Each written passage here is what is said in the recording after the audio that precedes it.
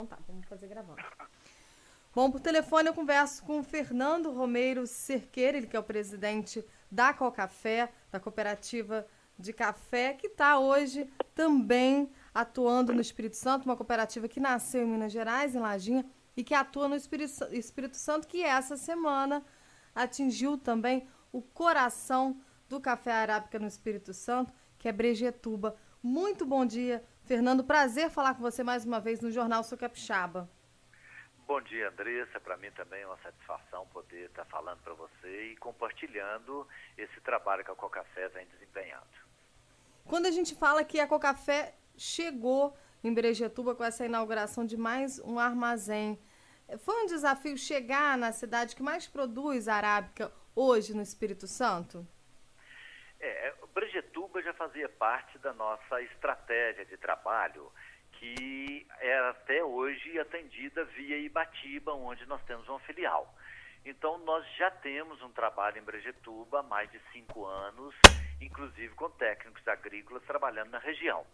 Em função desse trabalho já feito, é, nós sentimos a necessidade, até por um apelo do próprio produtor da região, de colocarmos uma unidade comercial lá no centro de Brejetuba, inclusive uma unidade moderna, ampla, onde o associado vai poder contar com todos os serviços que a Cocafé hoje tem em todas as outras filiais dela. Então, quando é, a Cocafé concluiu, né, com, com, com, tem essa conclusão de chegar a Brejetuba, essa atuação no Espírito Santo, ela já aumenta bem e vocês estão na divisa aí junto com o Espírito Santo, Lajinha, né, tá na, está na divisa. Essa atuação no Espírito Santo, então a expectativa é aumentar ainda mais. É, o Espírito sim, mas poucas, né? poucas né? Então não. existem lá uns 10 grandes produtores mas na sua maioria é também pequenos agricultores. Pequeno né? também, né? É uma realidade do Espírito Santo. É uma realidade, né? não. Então deu tudo certo aqui, eu vou, vou, vou pegar lá do, do, Vou fazer um resumo que eu consegui gravar algumas, eu vou fazer uma edição, tá, Fernando? Perfeito. Fica perfeito. tranquilo. Ok. É, pode? Então, como, como a gente falou dessa questão do pequeno agricultor esse é o perfil também de Brejetuba, Fernando, o pequeno agricultor que investe no café? Esse é um perfil de Brejetuba, que é, é um pequeno produtor, que ele investe no café e depende do café para sua subsistência, né? E então ele é um grande gerador de, de, de, emprego.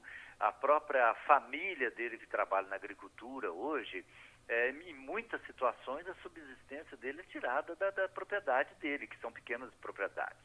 Então a Cocafé tem uma responsabilidade de levar informação para esse pequeno produtor. Porque hoje o mercado convencional ele trabalha muito atuando em cima de grandes agricultores. Nós também queremos os grandes agricultores junto conosco, tá? Mas temos uma preocupação também com o pequeno, onde o nosso técnico vai levar conhecimento, vai levar assistência técnica, vai dar para ele os caminhos para ele melhorar a produtividade e a qualidade dele. E inserir o produtor dentro de um contexto de responsabilidade hoje que existe.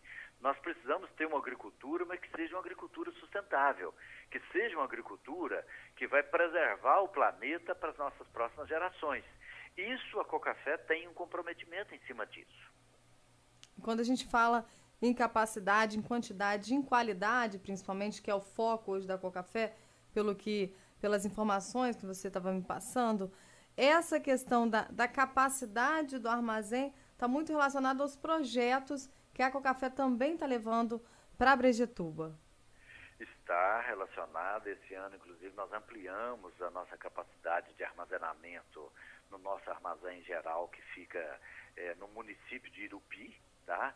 É, essa loja em Brejetuba é também é justamente para melhorar a nossa presença pró, é, próximo dos produtores, tá? E hoje a Cocafé leva as informações para o produtor, porque o produtor hoje ele precisa ter um empreendimento é, econômico. A propriedade rural não é um lugar simplesmente dele passar fim de semana. Hoje a propriedade rural precisa ser encarada como uma empresa agrícola. E essa empresa agrícola precisa dar retorno para ele. Então, hoje nós estamos trabalhando em duas linhas. Uma linha que é a questão técnica, tá? Onde ele vai entender da produção, vai saber como fazer um café de qualidade, vai entender de pragas, de doenças, de como secar um café, mas nós estamos levando também agora a questão da gestão da propriedade, onde ele vai ter conhecimento dos custos dele, saber quanto custa uma saca de café. Isso vai melhorar para ele é, o, o entendimento da hora certa dele vender o café. Porque às vezes está um bom preço, ele está tendo uma margem de lucro muito boa, e às vezes por não conhecer quanto que está custando a mercadoria dele, às vezes ele deixa de participar de um bom mercado. Nós estamos vindo agora de uma situação é, clara. Nós tivemos até janeiro tá, preços muito bons em bolsa e nós entramos com agora a bolsa jogando o mercado para baixo. Né? Então, muitos produtores aproveitaram os bons preços, outros produtores ficaram esperando. Tá? E isso é um problema no comércio. Nós temos que trabalhar o produtor nesse sentido, porque produzir é uma etapa, mas a comercialização é a etapa que finaliza a produção dele. É nesse momento que ele realiza o lucro.